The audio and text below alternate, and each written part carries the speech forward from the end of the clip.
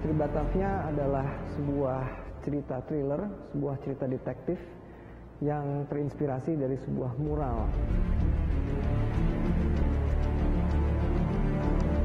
Dan mural ini sudah berpuluh-puluh tahun tersembunyi dalam sebuah ruangan rahasia di kawasan Kota Tua.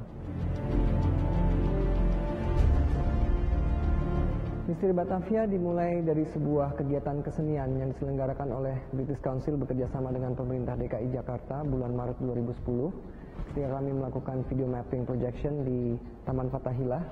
Pada saat itulah kami secara tidak sengaja uh, mendengar dan menemukan um, ruang rahasia di mana katanya di dalamnya ada sebuah harta karun yang tidak ternilai harganya.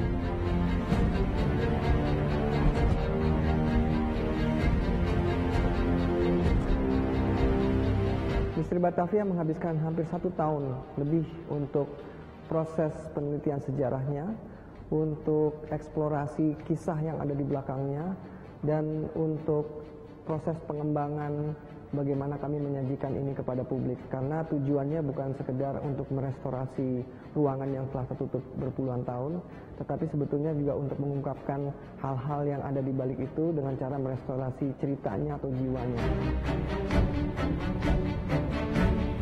Si komik Mystery of Batavia ini dia menceritakan tentang Batavia pas uh, awal abad ke-20. Jadi masih apa ya, zaman kolonial Belanda kan ya.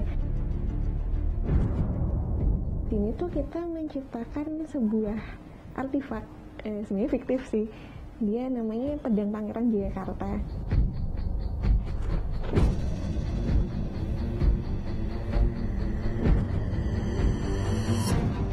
Misalnya si pedang ini nggak ada, kota Batavia itu bakalan tertimpa bencana besar.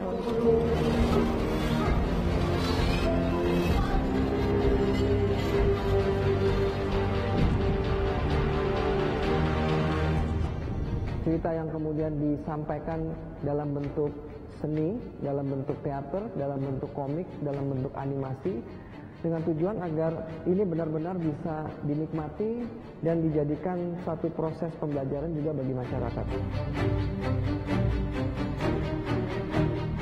Ini merupakan sebuah proyek yang lintas negara karena melibatkan seniman Inggris dan Indonesia.